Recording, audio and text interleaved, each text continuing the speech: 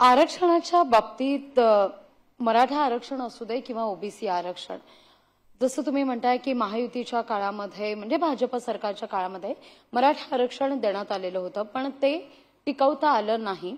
आता आरक्षणाच्या मुद्द्यावर आरोप प्रत्यारोप होत आहेत. ओबीसी आरक्षणाचा मुद्दा आहे. जरांगे पाटील ओबीसीतूनच आरक्षण घेणार याकरता शड्डू ठोकून आहेत पवारांनी एक पर्याय सुचवलाय सर्वपक्षीय बैठकीचा. पण या सर्वपक्षीय बैठकीतून हा तिढा सुटेल असं वाटतं का? मुळात ती सर्वपक्षीय बैठक कितपत फायदेशीर ठरेल या सगळ्याचा गुंता सोडवण्याकरता. मध्ये मुख्यमंत्र्यांनी एक बैठक घेतली होती. तेव्हा सन्माननीय मुख्यमंत्र्यांना आणि दोनही उपमुख्यमंत्र्यांना मी पण हे सुचवलं होतं की वेगवेगळ्या प्रमुख जे चेहरे आहेत ज्यांना समाज मान्यता आहे किंवा जे या गोष्टींना आवरू शकतील शेवटी आपलं राज्य आपल्याला आवरायचंय आणि ते सावरायचंय मतांचं राजकारण आणि निवडणूक एक झालं तरी हे जे भिंती उभ्या राहत आहेत समाजामध्ये जाती जातीमध्ये ह्या पुढचे दशकं आपल्याला डिस्टर्ब करत राहणार आहेत. ह्याचे परिणाम दूरगामी होणार आहेत. आणि हे करणारे करून जातील आणि शेवटी आपण नेतृत्व म्हणून जेव्हा स्वीकारलंय जनतेचं तर ते आपल्याला फार कठीण जाणार आहे. त्यांनी तसं सांगितलं होतं की ते सर्व समाजाची अशी बैठक घेतील. आणि असं जर पवार साहेबांनी सुचवलं असेल तर त्यांनी पण त्या बैठकीमध्ये सगळ्यांनी यावं सहभागी व्हावं आणि ते इतके वर्ष त्यांचा अनुभव राहिलेला आहे. त्यांनी अनेक वर्ष राज्यकर्ते म्हणून राहिलेले आहेत. त्यांच्या भूमिका किंवा इतर पक्षाच्या प्रमुख नेत्यांच्या भूमिका ज्या पाच वर्षापूर्वी होत्या दहा वर्षापूर्वी आहेत होत्या त्या आहेत का आता? अशी परिस्थिती नक्कीच आहे. कारण दबावाखाली वागत आहेत लोक दबावाखाली बोलत आहेत लोक. कुठेतरी ट्रोलिंग होतं खूप प्रकारामध्ये. त्याच्यामुळे लोक थोडीशी भीड बाळगून बोलत आहेत. पण मला असं वाटतं की ज्यालाही आरक्षण हवं आहे अशा वर्गाला त्याचं मागासलेपण सिद्ध करावं लागतं. आणि मागासलेपणाचे जे निकष आहेत ते केवळ आर्थिक निकष नाहीत.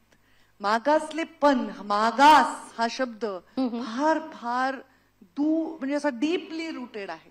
आणि त्याचे परिणाम वेगळे आहेत. त्यामुळे मागास वर्गीय किंवा इतर मागासवर्गीय हे जे शब्द आहेत हे तेवढे बोलायला सोपे आहेत, तेवढे जगायला सोपे नाहीत. आणि त्यामुळे त्या लोकांची पण चिंता केली पाहिजे. ज्यांना हे जन्मतःच संघर्ष आहेत आणि ते केवळ आर्थिक निकषावर नसतात त्याच्यामुळे कायद्याच्या चौकटीत जे आरक्षण बसतं ते दिलं जावं ह्याच्याबद्दल कोणाचाही वाद नाही. आणि त्यावेळी सर्वच वर्गांचं इक्वली ऐकलं जायला पाहिजे. एकाच वर्गाला बोललं पाहिजे ऐकलं पाहिजे. त्यांनाच फक्त सगळ्या विषयांना वाचा फोडून दिली पाहिजे असं नाही. सर्वांनाच ते बोललं पाहिजे. म्हणजे तुम्हाला असं वाटतं की आहे. जरांगेंनाच बोलू दिलं जातं? ओबीसींचा आवाज तितका पोचावा तितका पोचत नाही? नाही. मला असं वाटत नाही. पण नक्कीच मला हे वाटतं की एक एक असा एक पिरियड आला. एक काही काळ आला एक काही आठवड्यांचा काही महिन्यांचा त्याच्यामध्ये अशी परिस्थिती नक्कीच निर्माण झाली. पण आता मी बघते की ओबीसीचे पण लोक ऍक्टिव्हली आपले मतं मांडत आहेत. आपल्या आपल्या मतांवर ठाम आहेत. आणि ते मत ऐकावं लोकांनी अशी त्यांची अपेक्षा आहे. दोनही वर्गांना बसून सामोपचाराने विषय निघाला तरीही कायद्याच्या चौकटीत नाही बसला तर आम्ही सगळे एकत्र बसून उपयोग नाही. तुम्ही म्हणताय की काही काळ असा आला की ओबीसी किंवा ओबीसी वर्ग किंवा ओबीसीचे नेते हे काही काळ बॅकफुटला राहिले. म्हणावा तेवढा तो मुद्दा लावून धरला गेला नाही. त्यामुळे त्याचा हा फटका बसतोय. तो Exactly. लोकसभेचा होता? नाही मला असं नाही वाटलं. माझ्या म्हणण्याचा असा अर्थ आहे की ते डायसवर एखादी गोष्ट आली आणि याचा अर्थ दुसऱ्या ज्या जे वर्ग आहेत बाकीचे लोक बघतायत ते बघून जरी असले तरी ते नकळत त्यांचं पण एक संघटन होत गेलं ना. त्याला डायस आत्ता मिळतोय एवढाच फरक आहे. आणि नक्कीच त्याचा राजकीय उपयोग ज्यांना ज्यांना करून घ्यायचा आहे त्यांनी लोकसभेत नक्कीच करून घेतलाय.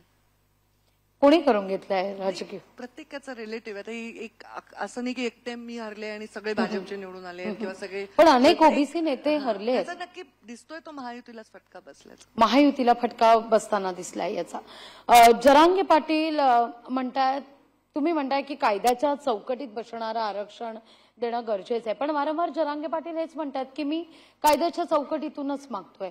हे कायद्याच बसतंय. ते काय म्हणताय त्याच्याविषयी कधीही असन्मान तर कोणी दाखवायचं काही कारण नाही. कारण मी जेव्हा बघते विषयांकडे ते कोणी असेल एक्स वाय झेड कोणी असेल त्यांचं मागणं हे नेत्यांनी ऐकायलाच पाहिजे संवेदनशीलपणे. आणि त्यांनी पण ते त्याच सालस्तेनी मागा- मांडायला पाहिजे. आणि ते ऐकायला पाहिजे. मागणी करणाऱ्यांनी आणि मागणी ऐकणाऱ्यांनी जर डेकोरम ठेवला तर विषय मार्गी लागणं अजून चांगलं होतं. त्याचा बाकी वर्ग किंवा राजकारण्यातले बाकीचे बाकीचे फ्रंट त्याचा फायदा घेत नाहीत. आणि त्याच्यामुळे डेकोरम राहून जर चर्चा झाल्या तर त्यांचं म्हणणं जरी असेल ते कायद्याने मागतायत आणि ते जरी योग्य असेल तरी ते कायद्याने म्हणायला पाहिजे. म्हणजे कोर्टांनी म्हणायला पाहिजे की ते योग्य आहे. तर त्याच्यात काही विषयच येत नाही मग. लोकशाही मराठी. ऐका पहा जागरूक रहा.